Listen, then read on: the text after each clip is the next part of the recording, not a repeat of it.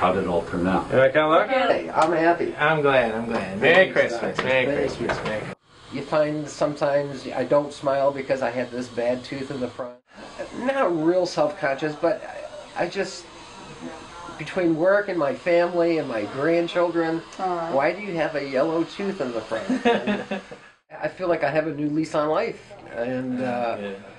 it's it's amazing. I, I'm just starting to get used to this. So, what an amazing difference! I'm so glad. Thank you. No, no thank you. Thank you. Thank you.